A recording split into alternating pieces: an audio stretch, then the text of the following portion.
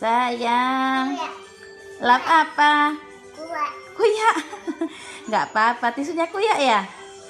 Ayo lap lagi, lap lagi. Lap degan yang bersih.